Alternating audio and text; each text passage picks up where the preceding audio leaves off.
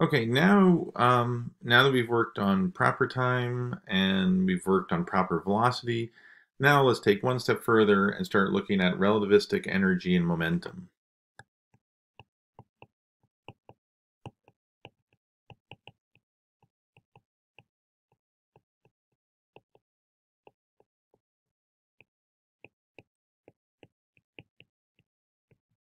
Okay, so um, what we can do is maybe define a momentum like we normally would as a mass times a velocity, but now we're going to be using the proper time, the, the proper velocity.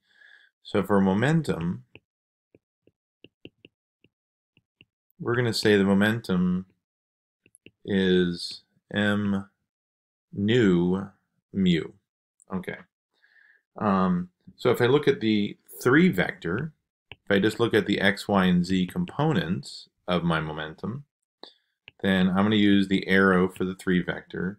And I would have the mass times the x, y, z components. And so this would be mu divided by the square root of 1 minus beta squared, which I can rewrite as gamma m u. So the interesting thing is that now I've written the relativistic 3 momentum, the relativistic x, y, z components of the momentum in terms of a gamma times the mass times the ordinary velocity. And so this is this is the kind of the um, uh, the really subtle point is that um, the you know if you want to be totally relativistic, then just use the um, proper velocity. However, if you want to talk about just ordinary velocities, now you can use this equation, which is gamma times m. And that's why sometimes people take the gamma and they associate it with the m. And so then what you do is you come up with a relativistic momentum,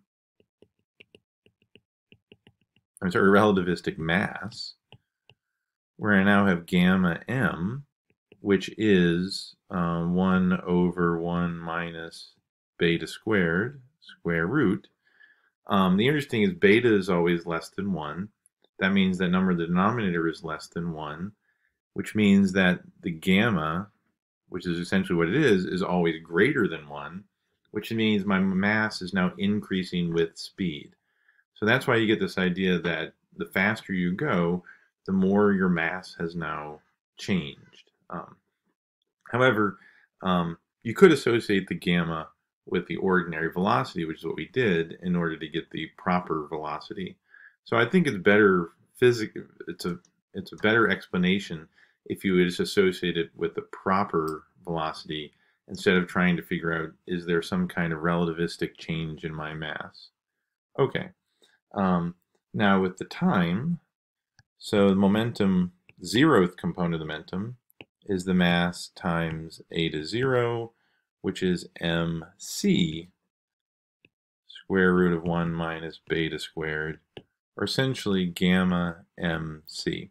So now this is kind of interesting because now we have a time um, component to the momentum. So we have a spatial component, three spatial components to the momentum, and one time component to the momentum. If I was to now um, multiply this time component times c, then what I would get is mc squared, gamma mc squared, which I'm going to declare to be the relativistic energy.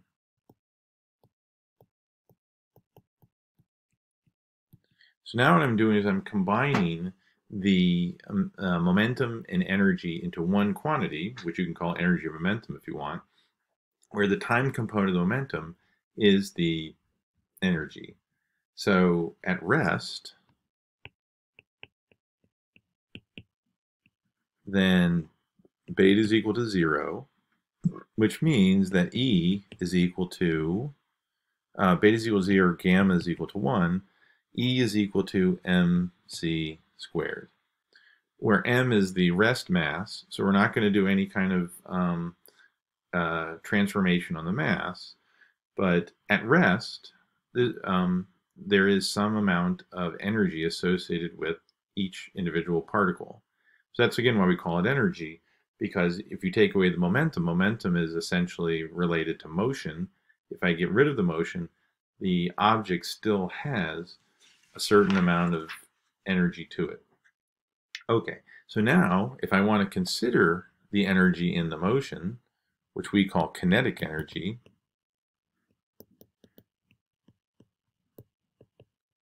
so that kinetic energy, E kin, is the total energy minus its rest mass.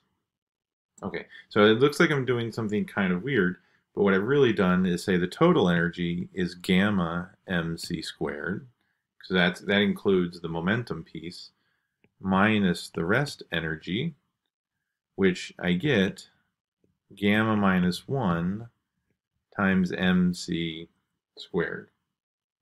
So the relativistic kinetic energy is this term right here, which I can write out as mc squared 1 over 1 minus beta squared square root minus 1. And so now what I can do is I can do, let's say we do a um, expansion of it. So if we expand 1 minus beta squared to the minus 1 half power, then what I get is 1 plus 1 half beta squared plus dot dot dot. So that means my relativistic kinetic energy is mc squared 1 plus 1 half beta squared minus oh, plus dot dot dot minus 1. The 1 and the minus 1 cancel, and I'm left with mc squared times 1 half beta squared plus dot dot dot. Um, and beta is v, I'm sorry, not v, u,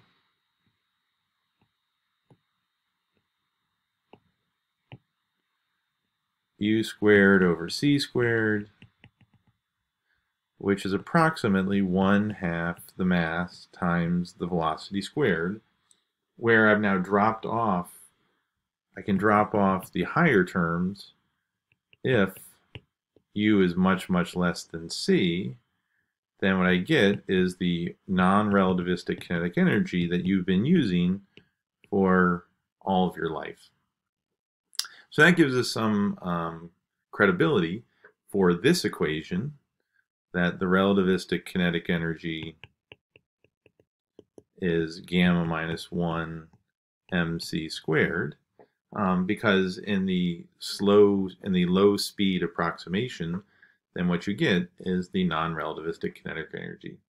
So now what we'll do is we'll look at the um, invariant um, energy and momentum. So if we calculate the invariant um, interval,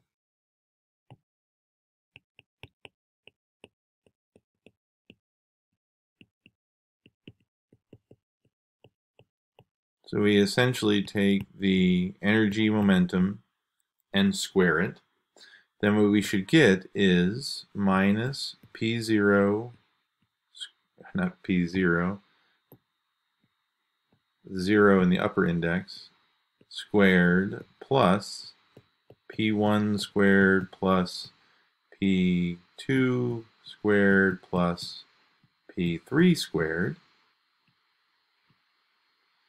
And um, I could rewrite that. I could rewrite that as minus p0 squared plus p squared, where now from the Pythagorean theorem, p squared is equal to px squared plus py squared plus pz squared. And that now minus p0 squared plus the total momentum squared is equal to minus the mass squared times c squared.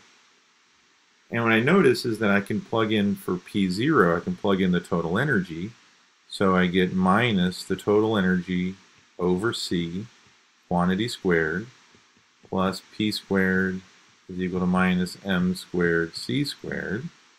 If I now multiply C squared on all sides, I get minus E squared plus PC quantity squared equal to minus m squared c to the fourth. And so if I now rearrange it so it looks a little bit neater, what I have is e squared minus pc quantity squared is equal to m squared c fourth, or m uh, c squared squared. And so now I have the total energy squared is equal to the momentum times c, quantity squared, plus the mass times c squared, that squared. And so what we get is, in the end, the relativistic total energy. And so this is um, basically similar to what we had before with the spatial stuff, which said that is equal to minus ct squared plus x squared plus y squared plus z squared. So it's interesting now that the um, space-time and the space-time energy are now um, of a similar form. It, essentially what it is, is the Pythagorean theorem, is that what we have now is an energy, E, um, and we have the um, rest mass, and we have the um, momentum um, components. And so this length here, no matter what frame you're in, is always going to be invariant. There's always going to be a total amount of energy in the system.